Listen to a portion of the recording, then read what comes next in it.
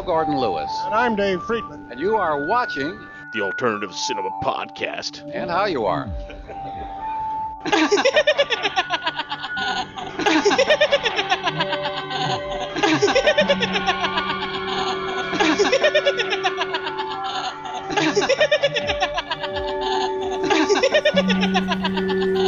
Nudie cutie feet. Nudie cutie. What's up, Daddy? Nudie cutie. Nudie cutie. Say Ezra Cobb was a nice enough fella. Kinda quiet, hard-working, good neighbor, devoted son. Just about the last person in the world you'd suspect of being deranged. Deranged, the story of Ezra Cobb, grave robber, psychopath, and homicidal maniac. He was trapped in his mother's web of evil, twisted by his own demented fears, so obsessed with death itself that he became deranged. He carved a trail of butchery so brutal that newspapers refused to print its gruesome details. Deranged, a nightmare of insane murder and lingering death. Deranged, rated R, under 17, not admitted without parent. Hello, everybody. Welcome to the alternative. Yeah. Nice. Welcome to the start again. Alternative Cinema Podcast. Welcome to the Alternative Cinema Podcast Hi. for April 2010. And this probably will not be the best podcast ever, but I can tell you that we're off uh, to a good start because at least our microphones are on. Yes. So, Unlike last month. yes. And, John, Yes, Mike. do you know that? Uh, oh, what's- what's up with your, your voice? My voice is effed. Oh, my God. Yeah, I'm gonna be coming in and out. I have uh, like laryngitis or something.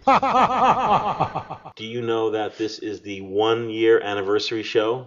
What? This is See, you can tell that. What? What? What? this is the one year anniversary Wow. of the Alternative Cinema Podcast. That's awesome. It's awesome and sad at the same time. I mean, it's awesome that we've put so many shows in the can, but it's sad because Twelve. but it's sad because it was just like I don't know. Remember, it was just like yesterday when we were like, Yeah. "Yeah, this is the Alternative Cinema Podcast," and you know, joking Yeah. around how it's going to be the only one because. Yeah. So Well, we made it a year. yes. We we uh we beat your odds. We beat your own odds. Oh, Uh-huh. you know, I have to thank Noel Scotch Anderson. Who Uh, you know what? I have to, I have to just wait. Fix Okay. All right, but it's gonna make noise and shit. So Noel Scotch Anderson yes, has been writing from the beginning, right. and I didn't know that Noel Scotch Anderson was, uh, uh, you know, a DJ on a radio station, 102, up in Fargo, North. Fargo, North Dakota. Yes, sir. That's right. I did not know that. I mean, I knew it. He said it in the first letter, but didn't click until like five months in. And even then, like what? And then I didn't know he was like uh, an illustrator doing And a- goofroof.com. the damn good one. Yep. So if you go to goofroof, da, goofroof.com, you'll see Noel Scotch Anderson's illustrations. If you go to the You scroll down. if you go if you go to alternativecinemapodcast.com, you will see the wonderful illustration that uh, Noel did of John and myself.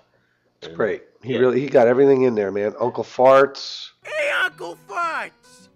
I've looked everywhere, and I can't find my Shrek 2 boogie board.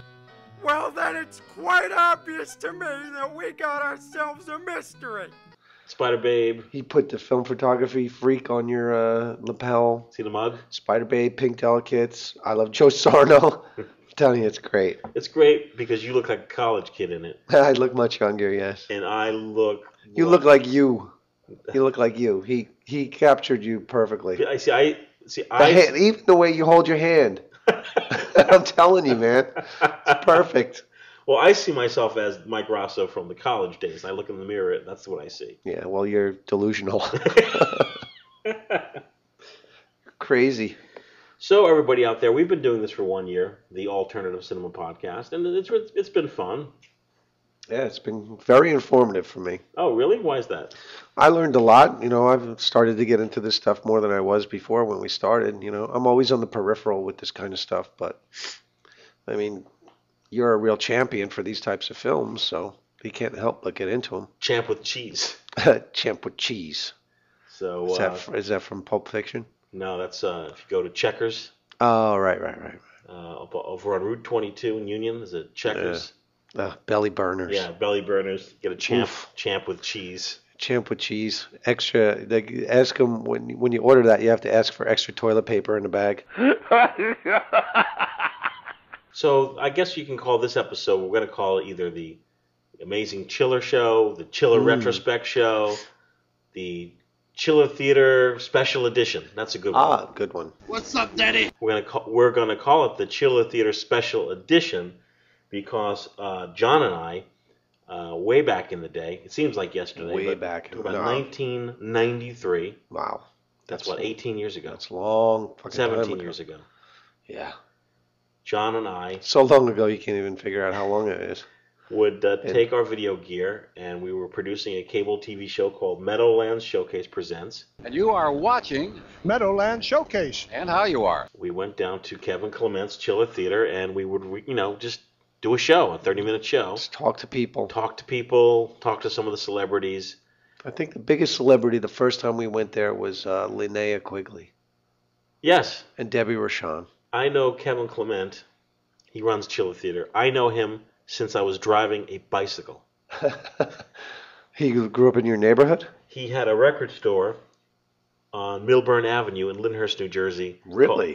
Called, called Vinyl Frontiers. No shit. And it was a small indie record store where I bought, we, we were just talking about this before the show, I bought the David Bowie Images LP with the cartoon cover. Yeah, it's a crazy one. Yeah. Mr. Gravedigger, is that what it is? Yeah, it's all on there. All the Deram, the Deram sessions. Those are like, uh, how, how would you explain that music? Whimsical, Whimsical? like uh, Like, like, uh, Uncle like, Arthur. like fairy tale ish. Very fucked up. Uncle Arthur, uh, Laughing Gnome. Yeah, Laughing Gnome. Yeah. Okay. That's the most popular one. There That is and a Mr. Happy Gravedigger. Land. They're they're like uh, musical. I don't know storybooks. I would say it's a cross between Anthony Newley and Syd Barrett. It's pretty good. The themes are not as dark as Syd. Right. They're more fairy tale-ish Yeah. or, you know, childish, I guess. I watched recently. Don't make fun of me. It's a, it's 1968 film starring Anthony Newley called Sweet November, which they remade with Keanu Reeves. Is that right? Yes. And I've never seen someone, you know, the expression chew up the scenery. Like Anthony Newley. Oh my God. Yeah. He was a real ham. ham bone. It's Yeah. funny to see it now because Is he's, you know, he's just bigger than life, and he's always like doing like a pratfall or looks silly. Like Danny Kaye. Danny Yes. Kaye was always bigger than life.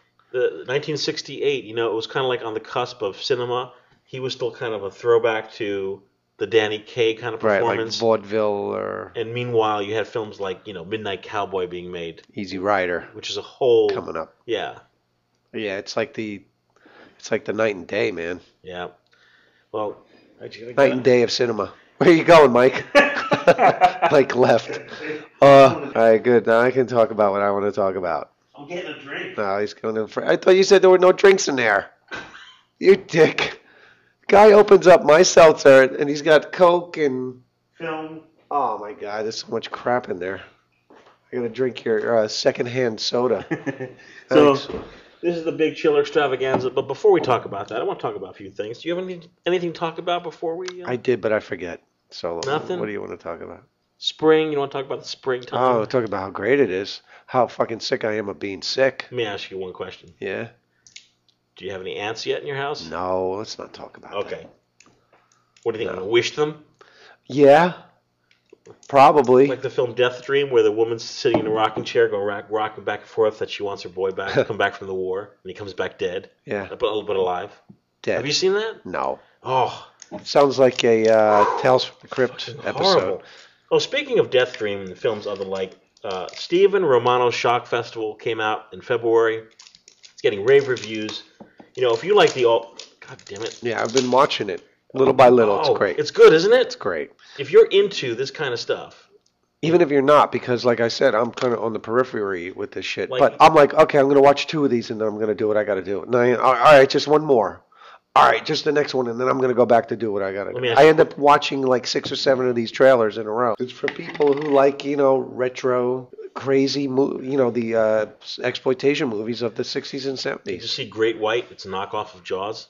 No, I haven't, not yet. I look forward to see. Now I'm gonna have to go home and watch it. Some kooks made s- a film called Great Kooks. White. It was like a complete knockoff. They got their Robert Shaw. They got their uh, like Who's it's, for Robert Shaw? it's a star. for Anthony Newley, John Link. John Link as the shark. Okay. An army of deadly predators, searching, destroying anything in their path. He's over at Colby's. He's found another 20 or 30 hills just like the one we burned. Why did they come? What do they want? Spiders in this area have organized themselves into an aggressive army. William Shatner, Tiffany Bolling, your nightmares will never be the same. Kingdom of the Spiders. Rated PG, parental guidance suggested. Before we get underway, I do want to talk briefly, and you will admit that lately I've been talking very briefly about my film photography podcast. Yes, well, you already got 1,600 listeners. What do you? Do you remember how I used to talk like for a half an hour about film photography? Yeah, I love that story. So Duane and I went to uh, Soho, New York City this Monday, where a company called the Impossible Project, which is a foreign company, Yeah, announced that they are going to start manufacturing Polaroid film for Polaroid SX70 and one-step cameras. Now, how many people do you think are excited about Well, that? first I need to tell the, our audience, our listeners, that because I'm sure a lot of people just don't know it's discontinued. Like, because no one, I mean, because nobody uses it. Who uses it? I mean, as Duane says, he uses it for proofing, you know, lighting and shit. Uh, well, on shoots, here's who but- uses Polaroid. Uh, about three years ago, you and Kevin Neblung took me to Izumi for my birthday, That's right. and for Bonsai, Bonsai, Banzai. they took a Polaroid. How did they? They did. It was a guy Oh. behind me with glasses that had lights on it, and they Yeah. held my arms up, Crazy guy. and a Bonsai! They sing "Happy Birthday to you." and they put the Polaroid in a little card, and they gave it to me. Wow. I'm sure you guys paid dearly for it. Yes, we did, but that's okay. It was worth it. If you, and this is according to Duane Polcou, you not me, if you go, Yeah, I should go. If you go to a strip joint, yeah. or you go to some like stripper thing, strippers take pictures Yep. of themselves and they give it to you yeah, for like twenty bucks. for twenty bucks. I've heard. Yes. I've never actually gotten one, but yeah, it's a big source of income for them. And according to Duane, he may have said it on this very podcast, when Gloria and Gilbert went into CVS to buy Polaroid film, and they're like, "Oh, we don't carry it anymore," she just said, "Okay," and that was it. People just put their camera on the shelf, don't even think about it, Yeah. don't even think about going online to get the film. They Right. just out of No. sight, out of mind. They're It's really that simple. like, oh, they don't sell it at CVS, and then forget it. There was a Russian woman in Walmart yesterday. I went there for shits and giggles to see. If, sounds right? she was Russian. Michael Yeah, I was like, "Do you have any Miki. Polaroid film?" And she said, Polaroid, are you out your fucking mind? "She said, not for a year and a half." In her accent, Uh, not for a year and a half. that's what she said, Yeah. but a little more strong. Not for a year and a half, stupid American. Now go. So the, the people from the Impossible Project bought a Polaroid factory in uh, the Netherlands. yeah, is that where they made Polaroid? Well, there were factories all over, Oh yeah. and they hired 15 of the employ of all the employees that got fired, How many? Hundreds. probably hundreds, and they bought they bought all the hardware and the components, Yeah. and but they didn't they don't have the formula. Now, why wouldn't they have the formula? Well, they say I don't know how true this is. This seems like something I'd make up. They said that the formula, one of the key chemical formula, one of the key chemical Elements. elements, was destroyed in Katrina. What? That's What what they does that mean? One of the key What does that chemical mean? Is that- elements was destroyed in Katrina. Apparently, there was like a million, you know, barrels of some kind of chemical in Katrina got washed and away. that's it. It's a finite number of. It sounds kind of made up. sounds totally made up. I'm not saying they make things up. My dog ate it. So uh, there's a guy, a uh, entrepreneur. His name is Florian Kaps. He's the founder. Florian. Yes, Florian. That's his first name. Yes, and he is the mastermind entrepreneur. The idea that they would start manufacturing Polaroid film. You have to admit, it's pretty crazy. It is crazy. It's nuts. But what does he? What does he hope to accomplish by bringing this obsolete form of photography. Back. He's uh, obsessed with Polaroid and feels that. Uh, oh, they feel. I was there. Oh, I told you that. Yes. They feel that there there are over, according to them, there are over two million Polaroid cameras still circulating. Laying around, Right. collecting dust. So they want to make a film for it. It's for artists. This is not for the strippers. It's over. So, so now, do you think that uh, half the people that own these cameras are not going to give a shit, and the other half are going to be selling them for exorbitant prices on eBay? Well, I can tell you this quickly about Polaroid. The prices have skyrocketed. Yeah. Skyrocketed. A roll of film, a 10 pack of Polaroid film, I called Unique Photo down in Fairfield. Right. New, you know, because they bought up all the stock.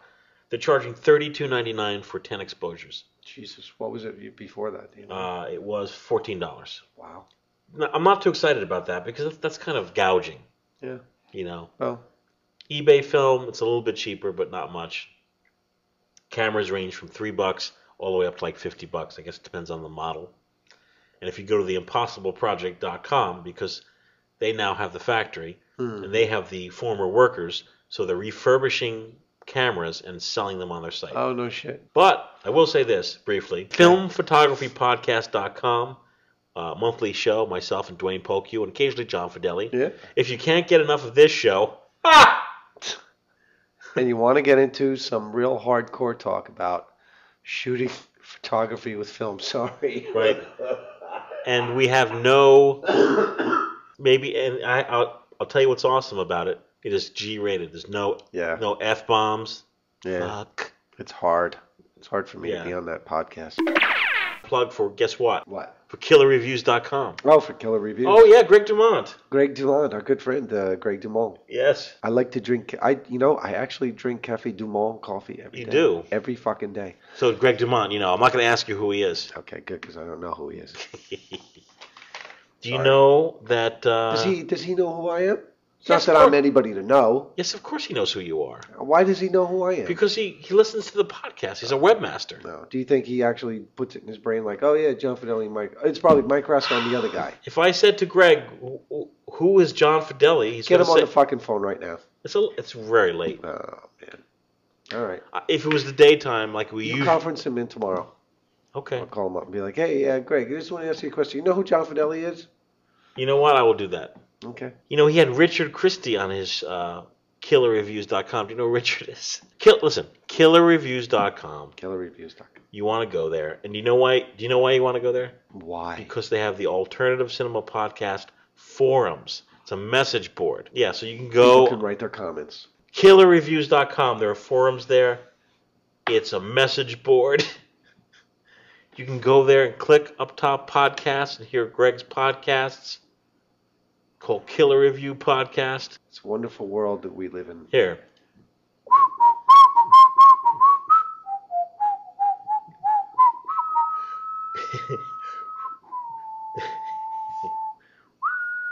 that's the like that's I was the trying to do the, that. I was trying to do like the right the, melody. the, the melody. So I'll do.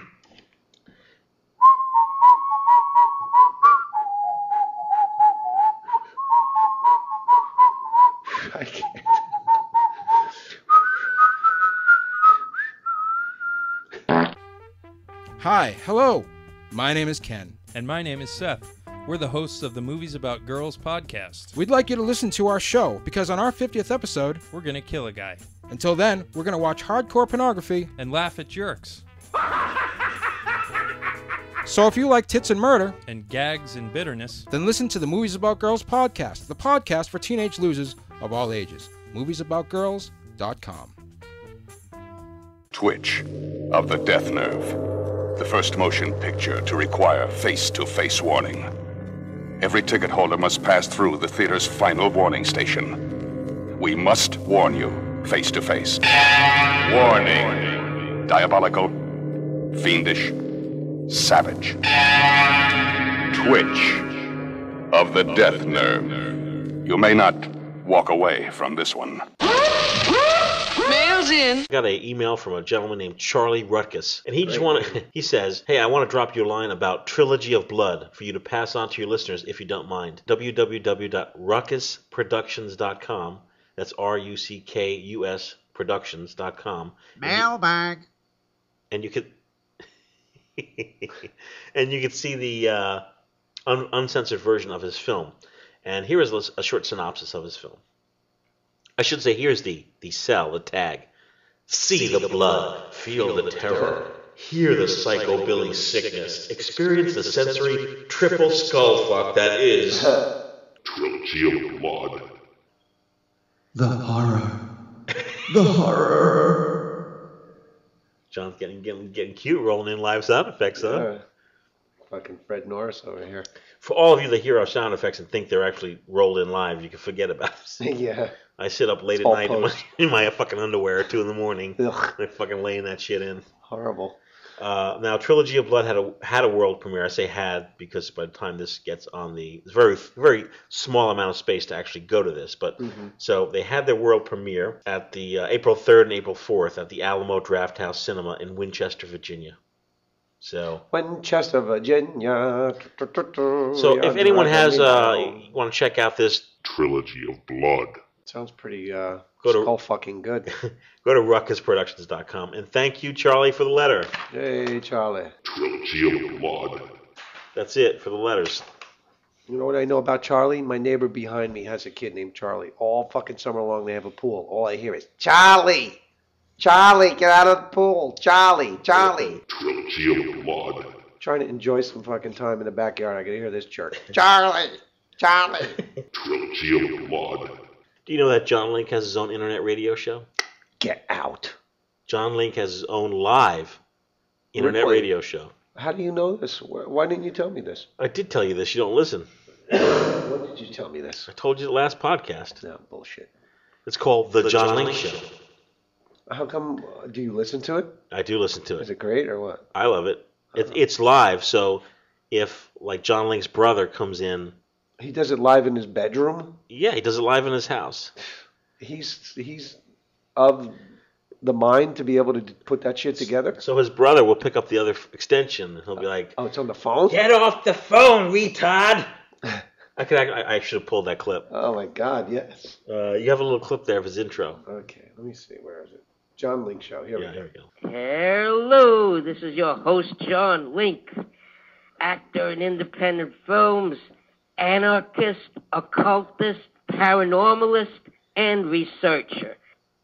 The researcher. Yes, he researches. What's he researching? I don't know teeth. Teeth. So, if you Google the John Link Show, Oh, wait a minute. The Google. if you Google the John Link Show, Oh fuck. I got uh, Fred. The Google. I got Fred Norris over here with his Fred, fucking Fred card. Norris's retarded brother. Right. If you Google the John Link Show, you'll see the link. Uh, The every Google. every Thursday at uh, 11 p.m. You could uh, Eastern time. You could listen to the John Link Show. Like, Yeah. Where? How do you? How do you listen to it? He has a radio. You Google the John Link Show, and it goes to blogtalkradio.com. Oh, no shit. Yeah, yeah. Interesting. Uh, if I, I, was, I was thinking of taking an audio device to Chiller Theater this year and doing a quick interview with John, like asking him the pertinent questions, like, Yeah. you know, what is it about? Who, you know, who, who's clearly is a host. I mean, he's the host of the show, but someone has to be organizing it. Right. I mean, I don't think he's capable. there are some good stories on the John Link Show. Like, do you know he drove for a while? No, I've He- never. Ever since I've known him, he hasn't drove. He was driving a van, an old beat up van, down the highway, and his brother put a box of sheet metal on top of the van, but he didn't know Oh, that it was on top. Oh my God. So a cop pulled him over. Yeah. You know, issued him. He got, he got so many summons that, and he said he hit so many parked cars that he oh, lost his license. Christ. Forever. Can you imagine him driving? No. Really can't. Be like letting a dog drive. well, like uh, in uh, Mr. Frankenstein, I had a scene where um, where I I was playing the character Carl the Jester, and I had to arrest myself. John Link, of course, is star, uh, or, or I should say, a character actor. No, I should say a character performer. He's a performer. He's a performer, Yeah. and he was in many of the early uh, seduction cinema shows. Tons. That played late night cable. So people in his town, when he walks around collecting garbage and stuff, People in his town must be freaked out because they know him as kind of the town oddball. Right. But then they go home and like at night and he's on TV. Yeah. It's got to freak him out, it right? Must be pretty mind blowing. Yeah. Yeah. Like, wasn't that the guy that was just taking shit out of our garbage can? He's on TV with naked chicks. But we're I mean we're joking around, but we work with John many, many, many, many, many, many, many times. Yes. And uh, you know he's a friend of the studio, and uh, we we we don't And mean any, considering all that he's been through, he's a pretty good guy. we don't mean any disrespect. No, we don't. We we love Johnny Link. We, we wish we had more work for him, but you know. When you gonna use me? I mean, things kind of dried up around here for that kind of film. We just Yeah. weren't producing that kind of No. film. So that And he said. And Zach left EI, and then Brett Piper wouldn't use me. That's what he said. It's pretty funny. Yeah. I just don't think uh, Brett, you know, had had, had a He- part for him. He didn't get didn't get the Johnny Link. Uh, Sometimes uh, directors don't just don't have a part for you. I mean, They don't. they just don't have a part for you. Oh, do you know? Want to hear about uh, Super Eight Fever? The Super Eight. You want to hear about the Super Eight? Wow, eat it up. You want to yeah, that means yeah, I want to eat it up. You want to hear about the Super 8 filmmaking explosion on the East Coast of the U.S.? Yes, of course I do, because this is like talking about you know taking Polaroids. Well, first, First of all, who makes Super 8 film anymore? They still make it? oh my goodness, John! Not only do they make Super 8 film, but when we were shooting Super 8, you had two choices: Kodachrome or Ektachrome. Yes. That's it. Now, a Super 8 sound, which is now called Pro Super 8, they take 35 millimeter film stock and cut it Into 8 millimeter. into 8 strips. millimeter. So you could buy all the beautiful Vision stock that's available in 16 and 35, and you could buy it for Super 8. That's pretty cool. That's fucking nuts, isn't it? Yeah. I mean, that's nuts. I would like to see some of that. It really blew my mind to think that you could buy such beautiful film stock cut for Super 8. Yeah. And cut it. Like who started that? Pro Super 8. It's a company called Pro Super 8. That's pretty cool. They've been around for a long, long time. Here on the East Coast, there's been a sudden surge of Super 8 madness. Like, Not to be confused with 8 millimeter madness. what's the difference between 8 millimeter and Super 8, Mike, for our listeners? Uh, well, Single and double perf. No, well, um, ah, Super 8, uh, 8 millimeter was um, and cut it. In 1971, I want to say. I remember because I was a kid. Kodak introduced Super 8, and the image was bigger and the sprocket holes were smaller. Oh, I see. Sprockets. So you get like maybe 8.5 millimeters. You got like more picture. Yeah. But you realize that these companies just reinvent the format so they could sell more shit. You realize Yeah, that, right? It, it, absolutely. it kind of sucks. What? I mean, Blu-ray, DVD, Blu-ray. Now I know videophiles will argue about the quality of Blu-ray, and I don't disagree with you, but please, all these formats. Anyhow, It's like with CDs. They keep remastering shit, repackaging it. well, wouldn't you say How that? many Su- times are you going to buy the same fucking CD or same movie? I've bought Dark Side of the Moon like three times. Yeah, it's ridiculous. No, four times. I had an eight-track, Yeah. the LP, Yeah. two CDs. Yeah.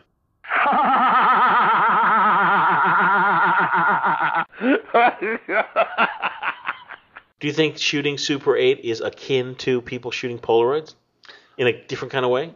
Yeah, because you really don't hear about it a lot. You, you don't often get to see Super 8 uh, film shot on Super 8.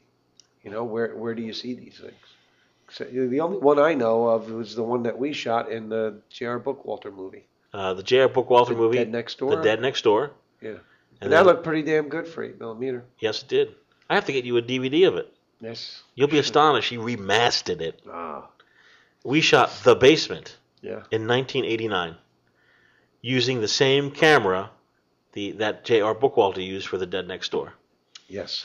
And uh, me, the younger version of me. Yes. The one Oh. that you see in the mirror. Yeah, the one. I, nah, I don't see that. I, You don't see that guy? Nah, I see like the the mid 30s. Okay. Mike Raso. I don't see. I don't see the 24 year old Mike Raso. You don't see the happy, optimistic Mike Raso. Uh, The future is bright and clear, Mike Raso. It's funny when you're that young, you don't think about the future. No. Everything's in the now. That's true. It's crazy. Very good observation. So, you know, I was in the now in 1989 making a feature film, my first feature film as a director of photography. Uh, you were kind of jack of all trades, lighting guy, Yeah. you know, actor, kind Mm-hmm. of like John Link.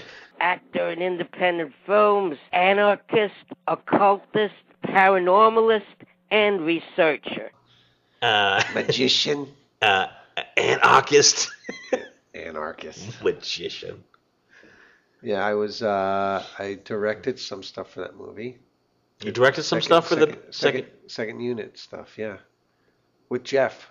Yes, Jeff was DP. that was the big zombie night with the trailer Yes. outside. That was a horrible night. So, so this is an eight, a super eight millimeter feature film called The Basement that I shot, and Tim O'Rourke wrote and directed it, and I believe Scott Hart wrote one of the episodes. The one remember was like, "This house is haunted." Don't you remember he had the fake teeth in? he couldn't talk. And- and you can hear me laughing behind the camera. As a matter of fact, when I did the telecine, take played, and I was You can hear yourself. no, no, no. I started laughing at the exact same time I started laughing on the film because this is Uh, this is shot on Super 8 sound film, so the, there's a magnetic strip on the film, so Right. we, we we recorded the sound directly on the film. Thank God, because the script doesn't exist. We've Oh my nev- God, never been able to. So Tim O'Rourke gave me all the footage for the 1989 horror feature, The Basement, in 1991. How would 1991. Scott Hart say that with his teeth in? The basement. In 1991, when Tim O'Rourke said "Adios, amigo" Yeah, and went to California, he just handed it over to. him. handed it over. I was in my Comcast office. Otherwise, it would be sitting somewhere. He just uh, he's had it. He just uh, you know. And I called Tim last week. yeah. How's yes, he I doing? did. He's doing great. Good. Good. He says hello. Oh well. Hey Yeah. Tim. I asked him why did this project get abandoned because I always thought it was my fault Oh, because yeah. the film was dark. Huh. He can't remember. He says I, I honestly cannot remember Just why. had enough. Do you know the space between shooting The Basement in May of 1989 and shooting Ghoul School in January of 1990? June, July, August, September, October. It's only seven months. Can you believe Yeah. that? Yeah. It seems crazy, doesn't it? That he'd shoot So a long ago. feature Super 8 movie and then seven months later abandon it and then shoot a 16 millimeter film. Yeah. Uh, it sounds like a smart move. Yeah, I guess. Trading up. I'll tell you what I do remember working with him on the basement. He used to drink that fucking Jolt Cola And circus peanuts. and circus peanuts and take Excedrin like they were Tic Tacs. and we were shooting late one night in Anthony's house, and your friend Anthony Scardino's house. And something wasn't going right with the special effects. And he turned to me and he put both his hands on his chest and he said, I can't feel my heart. like, no wonder.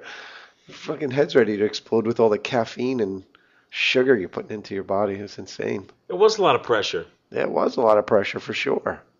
You know, we didn't know what we were getting ourselves into. We're young filmmakers, and we're just like, oh, we're, we're going to shoot one night at Anthony's, not knowing that it was going to take 12 hours instead of the three or four hours we assumed it would take. Well, you remember a year ago when we had Jacob Ennis on. He's the filmmaker that did Stash. Stash. You know, uh, I can really feel for filmmakers who are out there, you know, because they're going through the same nausea, the same experience of trying to make a feature Right. film. It's so fucking stressful. Yeah, it is. So stressful. So Ask, many, ask anybody who's made a movie so on a low budget. I will say congratulations to anyone who made a movie, regardless of whether it's good, bad, good, bad, or the ugly. Yeah. It's like if you actually made it and edited it and it's done, You came out the other side a different person. Forget about distribution. If you made that movie, I think you there's a lot you should be proud of because Yeah, no it's doubt. an incredible feat. Feet. It's it's like running a fucking marathon, man. Feat. Yeah. Feet. Because there's so many opportunities to just give it up and pack it in and just say this is too fucking hard. I can't fit. Feet. And burp. So I've been, you know, Feet. been there, done that, Right. and it doesn't even matter what format you're shooting on. No difference, all the same. Offer some helpful advice. Yes, I mean if you're shooting on the new super duper deluxe digital format or you're shooting on Super 8, you still have to light it. Yep. You, you still have to have good audio. Format doesn't make it any easier. As a matter of fact, the the Super 8 film The Basement is being edited by Joe Colbeck. Joe Colbeck. Where's Scooper's boogie board? Hey, eh, Uncle Uncle Fots. Oh yeah! I'm Uncle Fats! Great. There you go. So you know, Joe, the Uncle Farts is a you know that's a video that's that's has cartoon. Right, yeah. So just the other day, he like hit himself. He gave himself one of those V8 things. He's like, Yeah. oh my god, it'd be so easy if I did an audio only. He never thought to do it just audio. I was like, oh yes, please, please do Yeah, we could do uh, Every month. Every month, have an episode of Uncle Farts. Uncle Farts. So young Joe Colbeck is editing the basement, and he is doing the sound design from scratch. God bless. So on the upcoming, by the way, the basement 1989 will be released on the Camp Motion Pictures box set of 80s DIY movies. So it's going to be the basement. It's going to be Captive, Captives, the unreleased uh, Gary Cohen film. Video Violence 1, Video Violence 2, and I think Cannibal Campout. Cannibal Campout. Cannibal Campout. Sounds like a uh, stellar set. He's doing the sound mix from scratch. So on one track of the DVD will So be he's like doing uh, what do they call that? Foleying. everything. Wow. On one track on the DVD will be the original track off of the film with the original actors. That's cool. Yeah, and on the second track will be a complete new Foley, new mix, music. Filmmaker Chris LaMartina is doing the music, and LaMartina. I sat and watched a clip of it, La Martina. and the the, the sound work is so good, it changes the perspective of the movie. Right. Like it actually bring it fills it out, and it makes the fact that some scenes are dark or some scenes are not shot very well. It makes it all forgiving because Now, were you were you able to tweak those images and, and Yes. with the new technology? as I call it, I asked the te- the the colorist at the telecine session to blow light through it. Yeah. It's like that blast some light through there. So now, how how much better is the image? Fifty percent better? Twenty percent better? Well, I would say in 1989 it was unusable, Really? just written off as like it's too dark. Yeah. Professor Marola, Oh, Michael, it's too dark. too too dark, Michael. It's too dark. So the scene in the uh, house, the slaughterhouse scene, Yeah. is very dark. But you know what? In watching it, it's so dark that it's good Oh, really? because you know That's atmosphere. Well, you know, the effects in the film were all, you know, puppets and animatration, anim. It hides that shit. no CGI. It's No, all, you know, it's all- prosthetics yeah. and bladders. Right. It's all live shit. So the fact that some of it is darkly lit really, and I'm not saying this to sell it. I'm really not. Right. It really helps. Yeah. And with the sound mix, it makes your mind do. It's like yeah. It's. it, it fills in the whole picture. Mhm. Oh, that's cool. It is. Hey, do you have a clip of? This is a scene where a character, Mr. Edelman, a film director, Yes. he, it's a it's a movie within a movie. It's about a guy who's directing a movie and he disrespects zombies. And at night, real zombies come out of the graveyard and kill everybody. Right. So in this in this scene, Mr. Edelman, the director, uh, a a lowly PA played by J.R. Bookwalter, comes up to him and explains to him, "You don't know what you're doing. You don't know anything about horror." Right. That we shot that in that big graveyard. Oh yes. We had like a backhoe digging graves. Do you remember that? Yeah, it was fucking pouring, and in the morning, all the all the graves are filled with water. We had a We trailer. slept in that trailer. It was so fucking cold. We had extension man. cords like sp- sp- sprawled across that. We that- could have killed everybody. We're so lucky nobody got uh, shot. Listen about filmmaking, all you young people. Shooting five thousand watt lights. Don't put electric cords in water. we buried that guy. I, really, I'm surprised Oh, no he- one got hurt. He was so pissed, that dude. I mean, we had so so much juice Yeah. running through. We had like 10 Ks. Where were we? Oh my god. Oh, we had the generator, generator truck. truck. Casey Kehoe. Casey Kehoe. Crack dog. Crack dog. Yeah. We had so much juice running through lights. We could have probably murdered the whole the whole lot. Just blew everybody's head off like scanners. But knock on wood. For some reason, Yeah. I think there was some people there who knew what they were doing. That were putting the connections up Oh, on like Apple like boxes Healy. and shit. Yeah, Tim Healy Yeah. and the other dude, whatever his name is, Brian. Is he working there? No, that was Psycho Sisters. Oh, okay. Tim Healy, fresh off Sergeant Kabukiman. Oh, yeah. Yeah. Wow. Yeah. What a real step down. so this is uh, a uh, a sound bite from the upcoming Basement. This is the actual real sound off the film, which you'll hear on the secondary track. We've we've re-recorded this. Oh, oh, wait a minute. What? I'm Uncle Fat! so funny. That's not it. Where do you get that music? I had it all queued up. If If I could just have a minute of your time. You got one minute, kid. Well, you see, Mr. Edelman, it's about the movie. Well, actually, it's about your directing.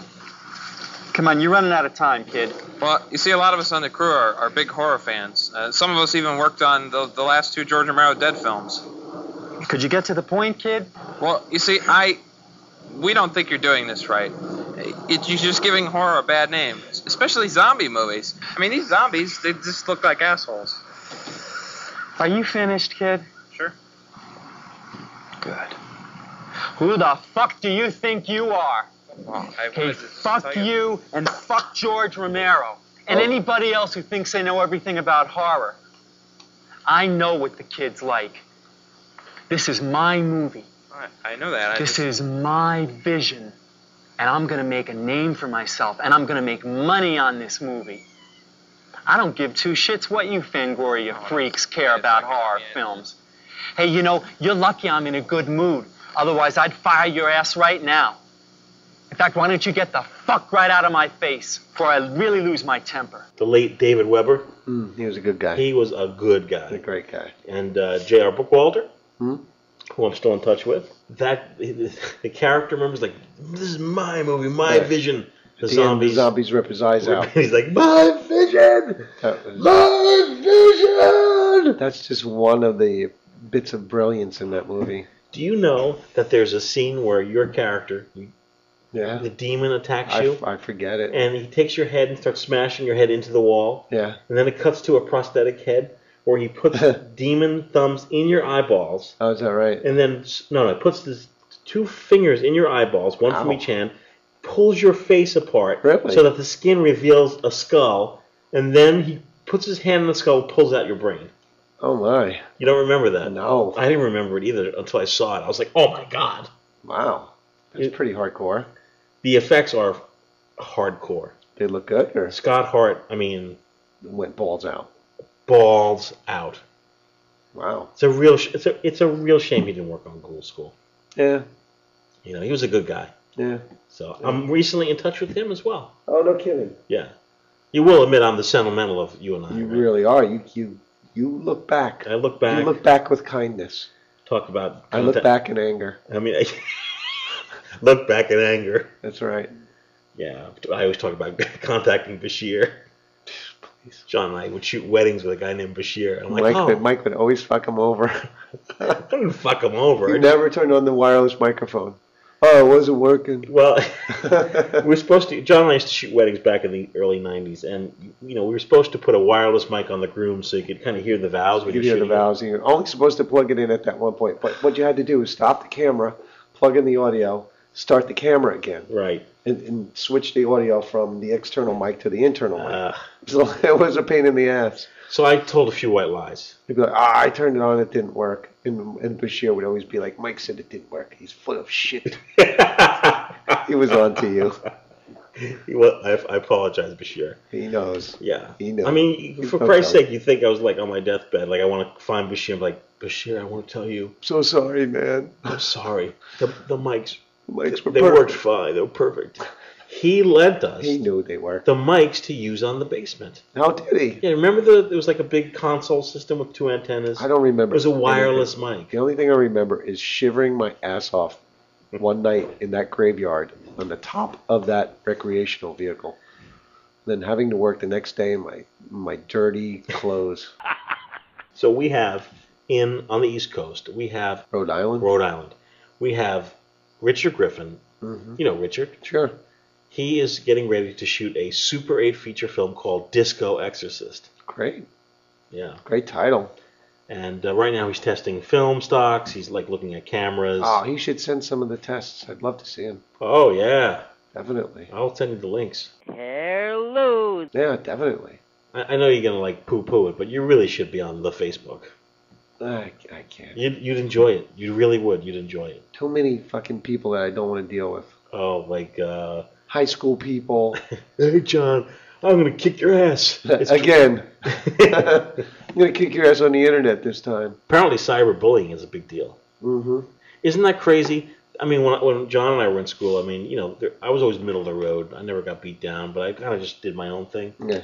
But there are kids that got beat down by bull. I mean, bullies have always been a problem. Isn't it uh, amazing that now it's cyber bullying? Yeah, it's easier to be a cyberbully. you can like just like Yeah, 'cause you from can be- across the room in this in the classroom, like text, "I'm gonna kick your ass at, at three o'clock." It's ridiculous. So now they don't have to come up to your face. The bullies be like, "I'm gonna see you after Yeah. school." They just text it to you, Yeah. and then Nice. taunt you all day. Did you see this in the news? Some guy beat the shit out of this girl. No. I mean, he stomped her with like metal toed Oh my god. They had to take the top of her fucking skull off so that her brain would have a chance to stop swelling. Oh my He god. beat her so badly they High had to take her fucking head off. I'm gonna see you after school. The, the cap of her head. High school? Yes. Ah. I don't, I don't know the story exactly, but this kid got so pissed See, this is real horrors. I don't want to discuss real yeah, horrors. it's, see, that's that's how that's how the real world works. Speaking People about the fucked. horror, you know about uh, the Chainsaw Kiss gang. Victor Bonacore. Stoops. And Testing you one, can two. edit this, right? Yeah. So say, um, speaking about the horror. Speaking about the horror, The horror. The horror. Victor Bonacore. you know about the Chainsaw Kiss gang. Yes. That's uh, Ruby LaRocca, Victor Bonacore, Oh wait, say uh, wait a Joey. Smack, Say uh, Luby LaRocca again. Louis LaRocca. Hot tail. Ruby LaRocca was in our very studios uh, last week shooting a box cover for uh, Faces of Schlock, Mm-hmm. which is a film, uh, a, a anthology of films by Henrique Couto, Hannah Montana, I wanna slam ya. Right. Chris LaMartina. I'm gonna, I, I, I'm gonna forget everybody. Oh. Uh, Andrew Shearer hmm and Pinocchio. and oh uh, Justin Channel. Okay. Good. Good for you. A bunch Good of young filmmakers. Good. And the, the Ruby LaRocca looked fine. Bet she did. Yes. I bet she did. Yes. I'll tell her you asked asking for her. Yes. John has a Yeah. crush on Ruby LaRocca. Always did. Yes. But I'm now I'm like a dirty old man. It's Uh, yeah, Lou Ruby. I always had a thing. For... She lives in your town, dude. I am. You should just go over there and hang out. Oh yeah, I should. I didn't even want. I'm here. You guys doing? I think they would be thrilled to see you. They live in I call the horror house. The horror house. It's a horror-looking Well, I- house. no, no, no. I call it the horror house. That's an expression. For oh, example, because they shoot horror. No, when Mark Lucy, uh, he's a roommate when I was in college. Before I, uh, I moved to him with him on Charles Street in Lodi, Yeah. he lived in the horror house, which was a house where like a bunch of people le- lived, Yeah. and there was always like stuff going on. Uh-huh. Like you know, doors opening. Like, one guy's leaving, one guy's coming in. One guy comes in with a keg, the guy- the other guy leaves. You know what I'm saying? It's always Why is that horror? because it's horror, the horror house. It's a horror house. There's always something going on. Okay.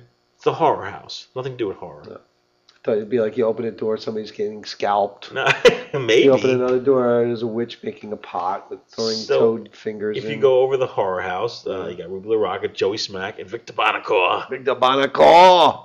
And at any given time, there are people just hanging out. I bet you if you walked over to the horror house, I bet you'd be thrilled to see you and be like, hey, have a be- crack open a Oh, beer. I'm sure they would. Yeah, they're all a lot of cool fun. People. Victor's cool and Yeah. Joey's cool. So they're doing Blood Wings, a satanic fantasy. Super 8, Super 8. and 16. Great. And they're Oh, and 16. Interesting. and they had their uh, fundraiser at the Clash Bar. All right, that's Yeah, right. Go to alternativecinema.com. Oh, jeez. There you go. Oh, Johnny Link. Actor in independent films, anarchist, occultist, paranormalist, and researcher. Oh, we are on the uh, Alternative Cinema News. If you look around, uh, Look at that picture down below. Holy shit, Johnny Link with that hat on. there's a trailer online. Can you play the trailer for Blood Wings? I'm playing it right now. I can't wait. Loading. Good evening. Uh, Chainsaw Kiss presents to you a brand new tale of freakish delight. See a satanic cult like you've never seen before. See the long hair.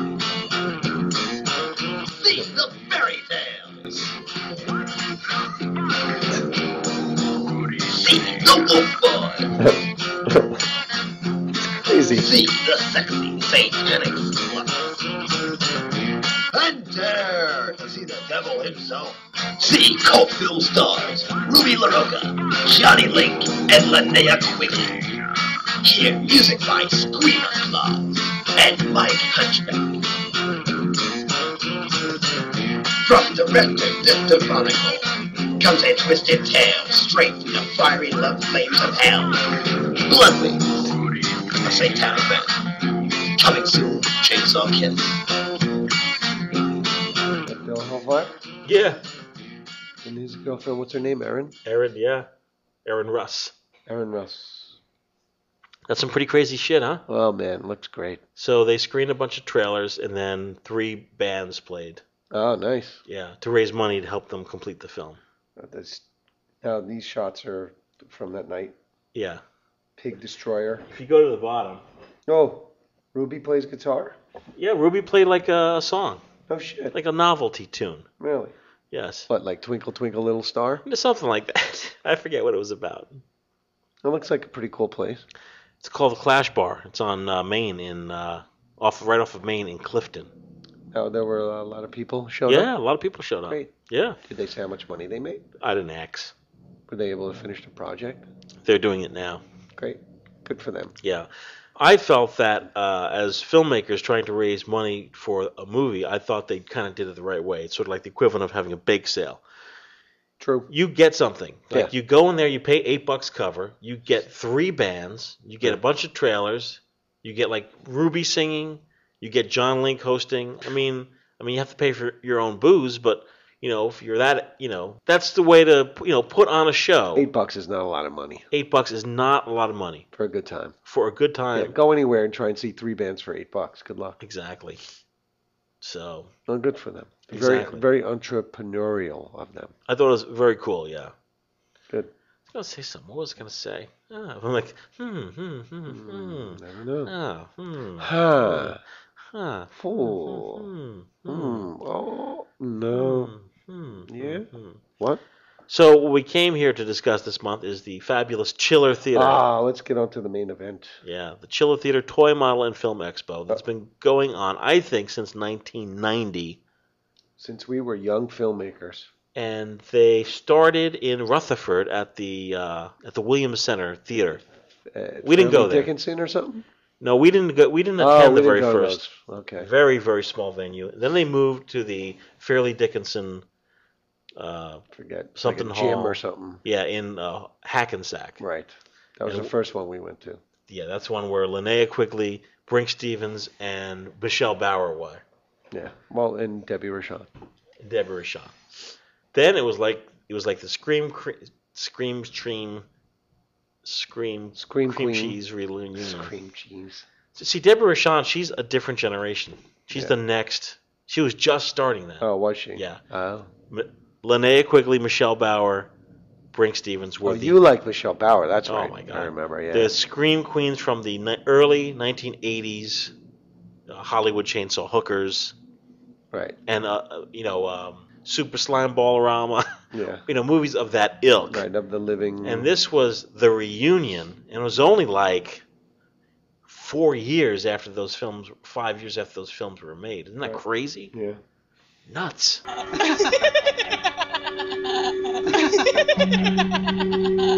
Nudie cutie feet. Nudie cutie. What's up, Daddy? Nudie cutie.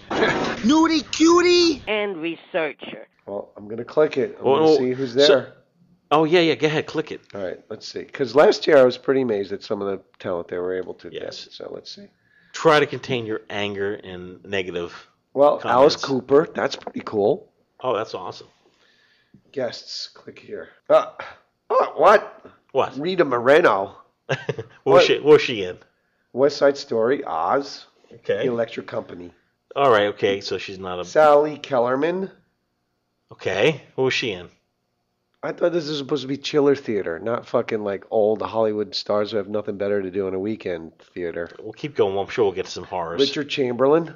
Uh, he was in like what? Uh, Dr. Kildare. The Thornbirds was his oh yeah. He chews up some scenery, right? Oh yeah. Uh, Caroline Munro. All right. Oh, Yes, sir. Ben Davidson. anyone? Ben. who's ben, who's Ben Davidson? Lou Ferrigno's gonna be there again.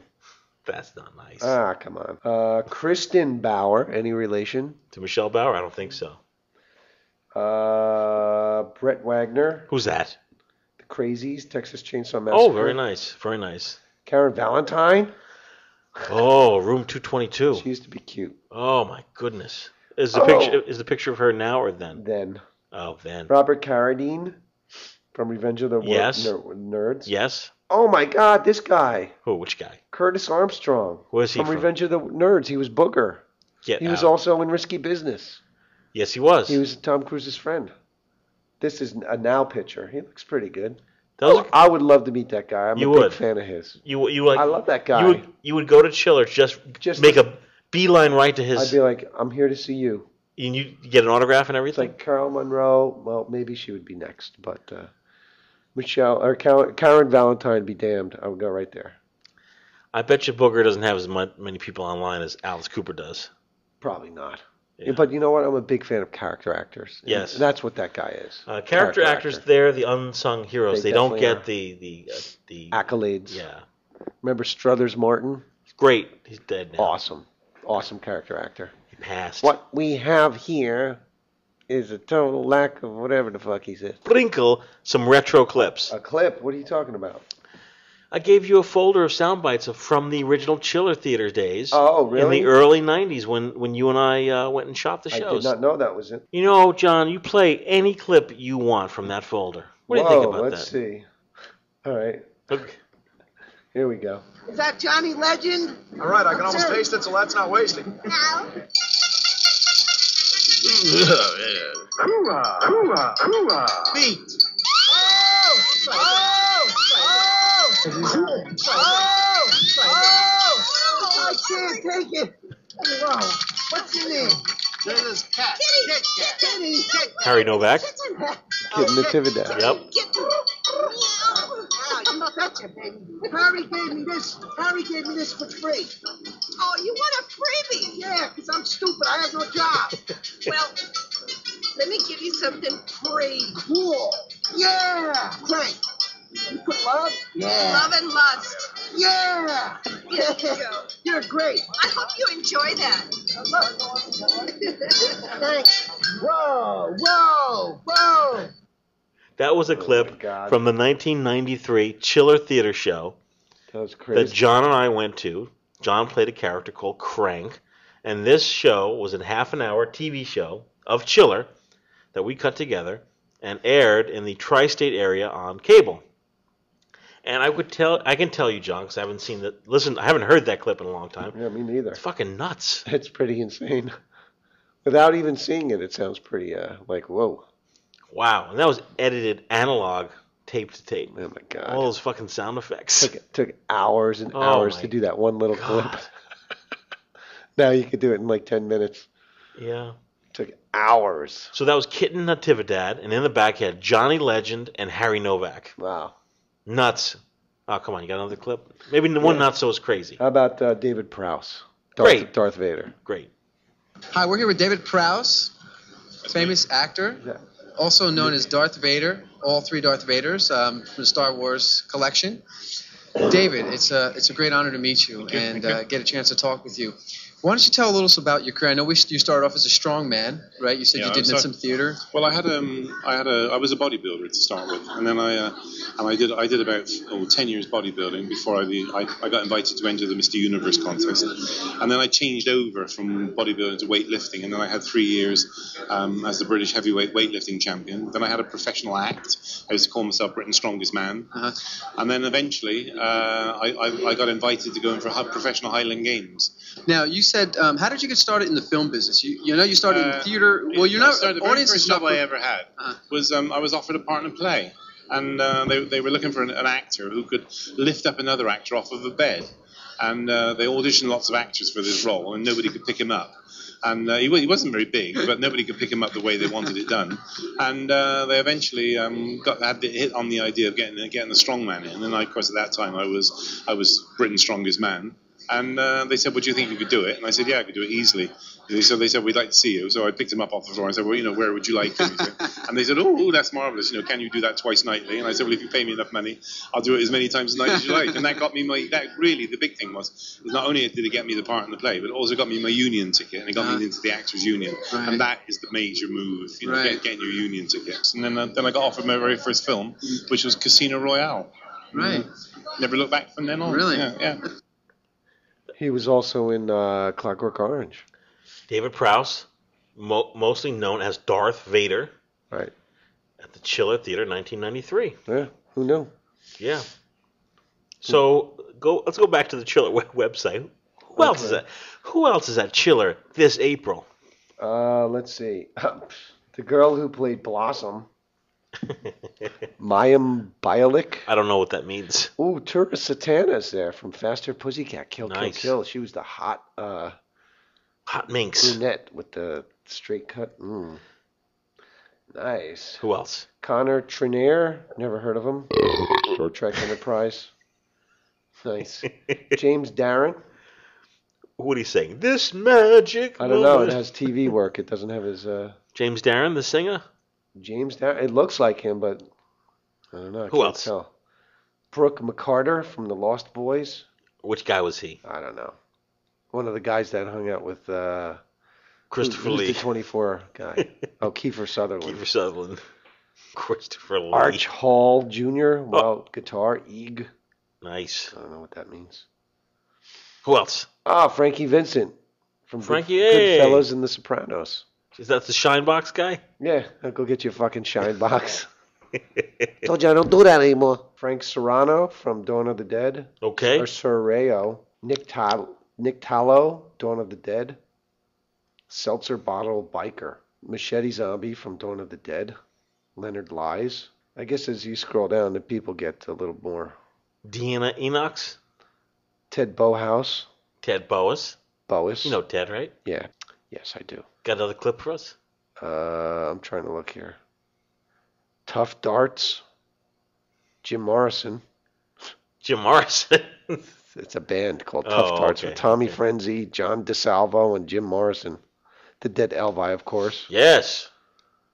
And uh, whole, lots of people from horror movies. What Neil do S- oh, they got a couple of guys from um, the original Alice Cooper band. Yeah, who they got? And Alice Cooper's going to be there. That should be interesting. They're gonna get into a They'll like, fight? Alice, you motherfucker. okay, here's Gunnar Hansen. Nice.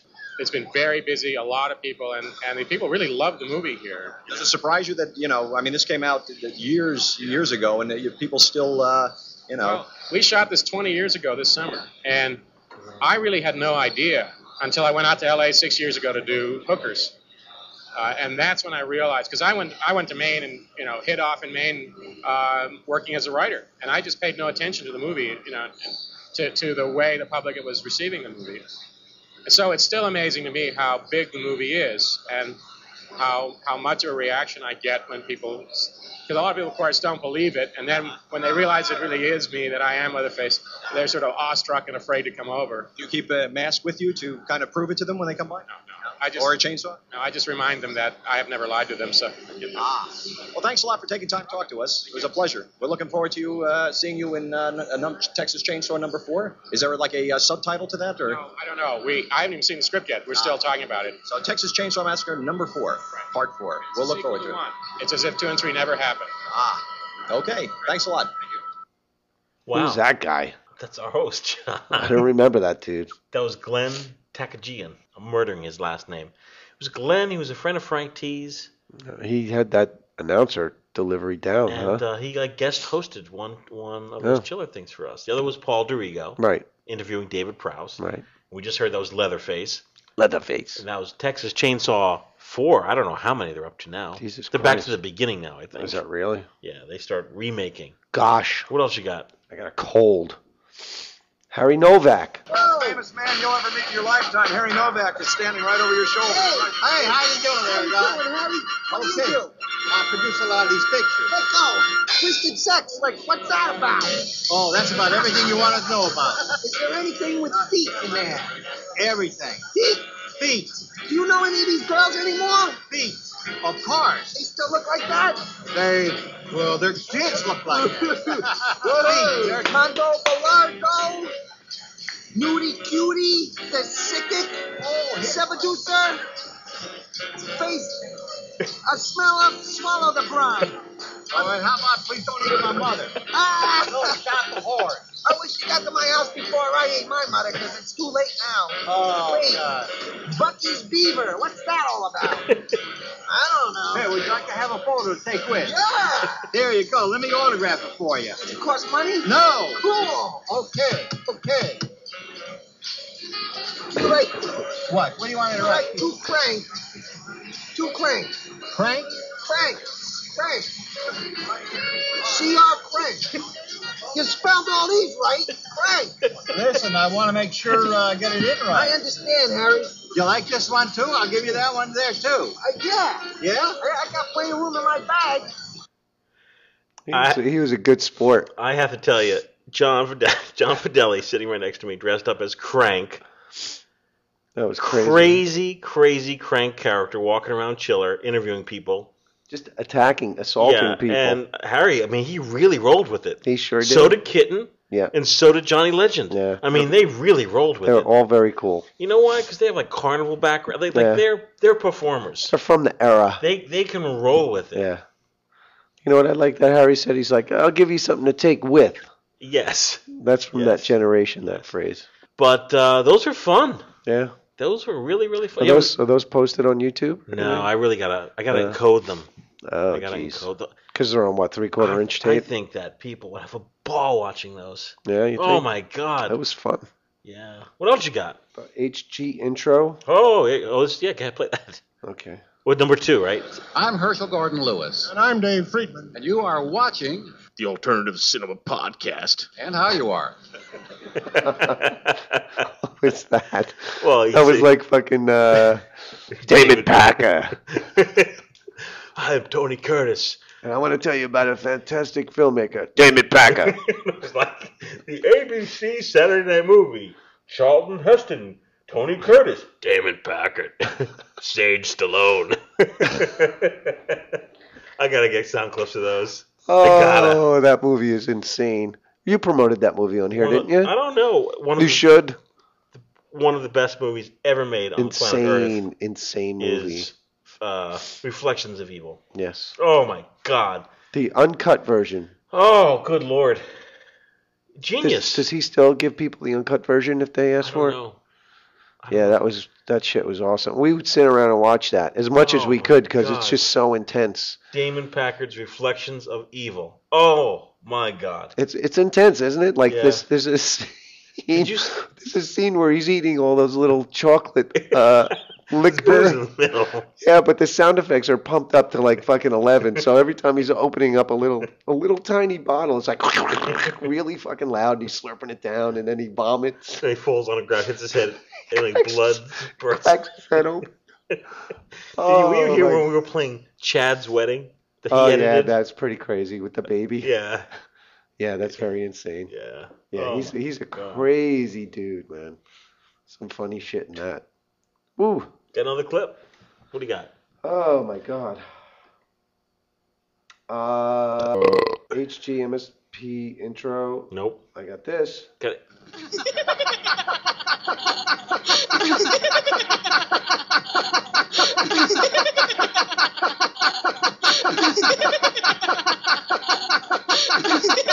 Uh, how about uh, Monique Gabrielle? Hi. Hello. I'm Craig. Hi. Can I shake your hand? Sure. Thanks. What's your name? I'm Monique Gabriel. Gabriel? Are you related to Peter?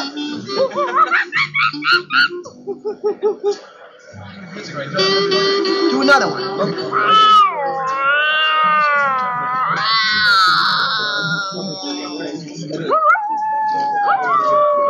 Do you do? Do you do any cars like a '57 Chevy? No. Oh. This is movie land where everything's. What the hell is she talking about? That was Monique Gabrielle. She's insane. She- She, uh, was she a blonde? I forget. Yeah, blonde, very buxom. Yes. She did animal like, Yeah, she noises. I mean, she was serious about it. She about was it. doing monkeys and cats and shit. She was in like uh, early '90s, like late night TV, USA Network, Swamp, that Return of Oh, Swamp right, right, Thing, right. things like that. Yeah. So, Who's uh, Lewis Friedman? oh, that's H.G. Lewis and David Friedman. This is the first time they got back together in 1993 at the Chiller Convention. Really? Yeah. Okay. Before there was Jason. Before there was there was Freddy. There was Blood Feast.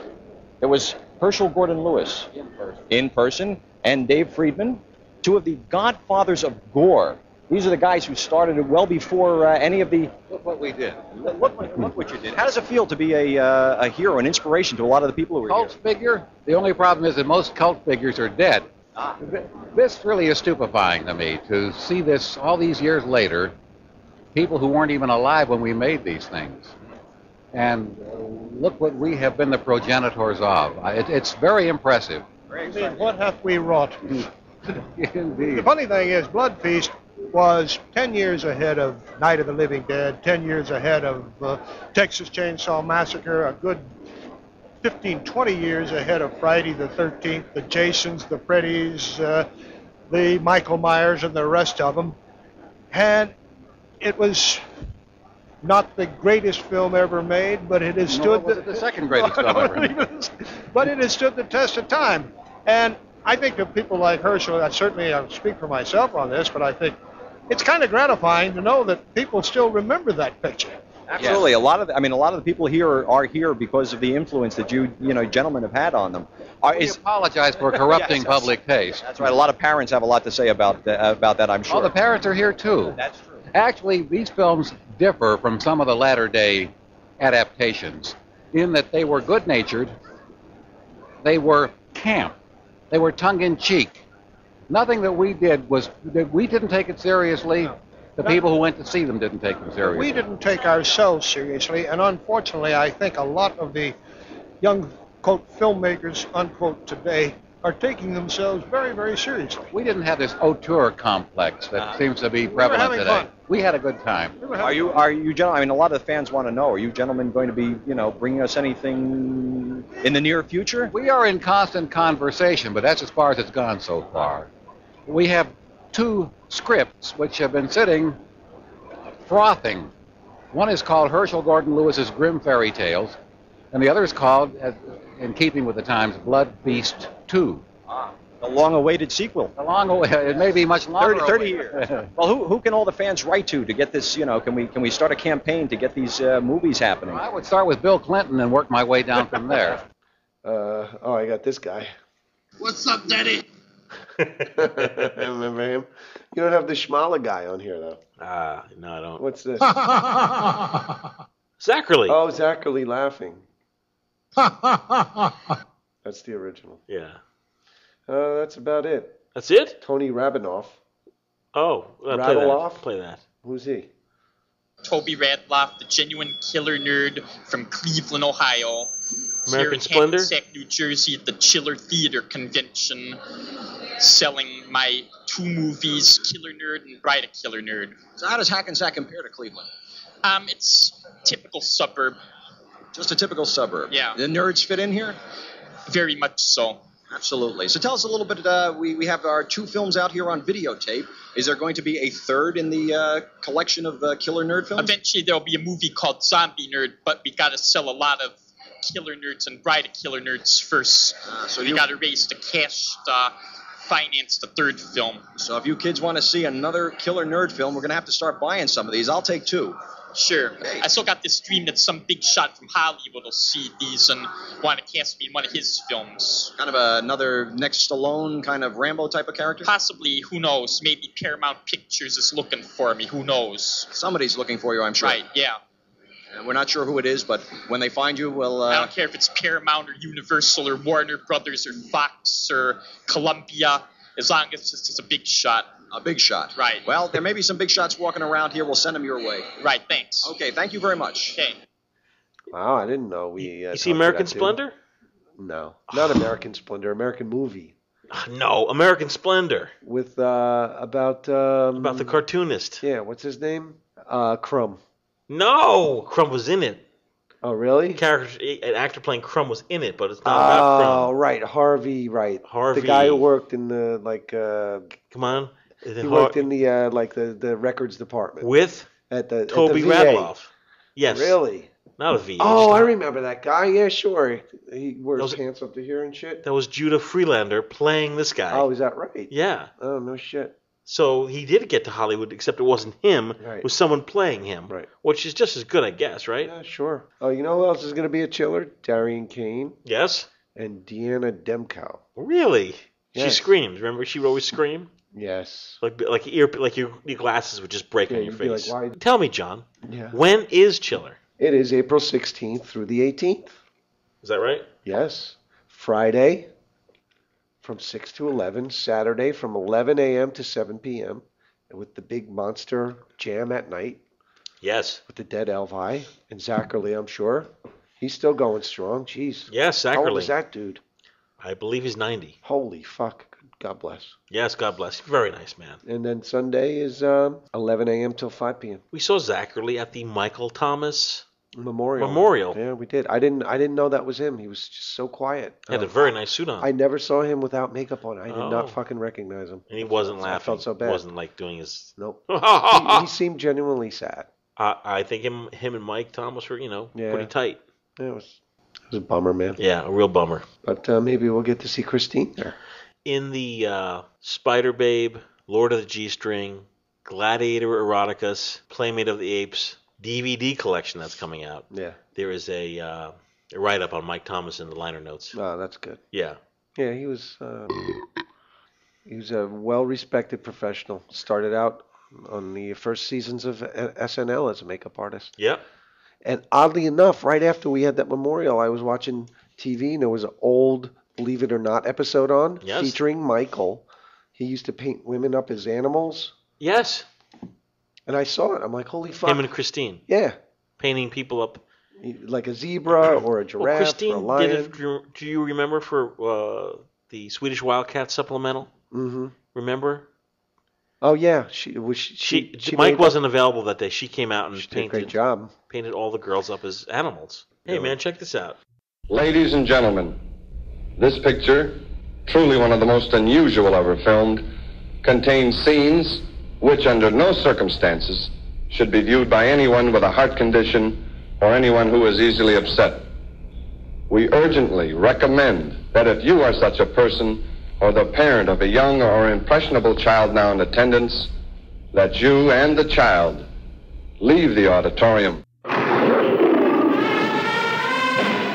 The fantastic duel of the century, the most ferocious battle in history. The flesh and blood King Kong fights his most incredible enemy, a 60 foot robot King Kong forged of super steel. King Kong escapes. All new, all thrilling in Technicolor. King Kong battles missiles, monsters, and a King Kong of steel. King Kong escapes. A Toho Company limited picture, a universal release. Girls and corpses. wow.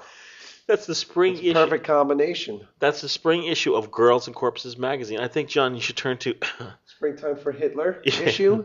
should turn to page uh, twenty. Page 20. wow, you must be in this. oh, Aaron Ross. Russ. Oh, Russ. And Bill Hellfire. And what does it say? What's the caption say? Up top there? Says photos by Oh Mike Grasso. That's right. Photography by Mike Grasso. Do you know this is the Where o- did you take these photos? Well, these photos were obviously here. Where, where's the graveyard? the graveyard is in North Jersey. She looks great. She looks terrific, huh? Nicely done. Nicely done. I can tell you Oh, that. this is like Lolita. Yes, I see. I know I'm really stuck on the photography nerdisms, but this is the I, I, I am willing to bet this is the only published magazine in the world to have photos published from Kodachrome film stock. Yeah, I bet you're right. Right? Now, did you retouch any of these photos? I did very, very little retouching. I don't do any retouching. I, I scan them, I bring them into Photoshop, I make sure the exposures, you know, the black levels and the white levels are correct, Right. and that's it. Everything else was done in camera, as they say. That's great. Thank you. That's Girls and Corpses magazine, the spring issue, which is out now. How long has this thing been going on? That's been going on for quite a while, from what I hear, like you know, a few years. And I have to tell you, John, I was really as surprised as you to hear of such a thing. Girls and Corpses. It's like a corpse of Hitler that this girl is posing with. What, why is it I could see like you? It's so fucking funny. Why is it I could see you and the smooth sailor guys like cracking up, like just seeing that? insane. I would love to. Oh, dude, you got to get me a copy. Really? Oh yeah, this will be a big hit. Really? Yeah, look at this girl. She's like pushing her boobs up to this fucking dead Hitler with the mustache and the hair. in an SS uniform. It's crazy. I had no idea that I'd get a, re- a reaction like that. That's would pretty funny. Would you say this is geared up towards a Howard Stern type Just fan? Heil with a smile. the Fräulein and the Führer. That's Oh, pretty, funny. funny. Well, let me ask you a question because I'm sort of like from the perspective of girls and corpses, I'm a little creatively bankrupt. I would like to shoot more for them. Can you come up with something like that? Can you come up with a scenario? Like I did it already. I did the Girls and girl. corpses? Yeah, like what what other girls and corpses combo could be shot that would be interesting? How about like this is something you could do. You could shoot like girls that you know how how people report that they have sex with uh, uh, ghosts. Yes. You could do something along those lines. What sex with a corpse? Sex with a ghost that's like a corpse. Well, a ghost is not a I'm corpse. just off the top of my head. Oh, well, you It could be a ghost corpse. Okay. Uh, or you could do like a, a necromantic kind Are there any famous people in history, like Hitler types, that could be dug up? exploited. Yes. Hmm. I'll have to think about Yeah. that, but that would be good. That would be good. That would be really funny. Maybe I should do like thematic. Marilyn Monroe, No, well, I guess. a lesbian type thing. Yeah, it could be. How about for like? Uh, How about JFK? No. No. Too soon. Edgar Allan Poe? Uh, now you're talking. Yeah. Yeah, you need evil characters like Mussolini. Yep. But no one's gonna get that. It's too. It's too sublime. Sublime. It's too uh, Subtle. Thank you. It's too subtle. Mussolini. I mean, Hitler's the guy. Or uh, yeah, Hitler's the guy. Yeah, he's the guy. He personifies evil. Yeah, If you're gonna dig somebody up and like press your boobs up against his head, it's got to be Hitler. absolutely. Great idea. Well, John, I, you know, I think that's all I got. Okay. Wow. Well, I think. Uh, That's.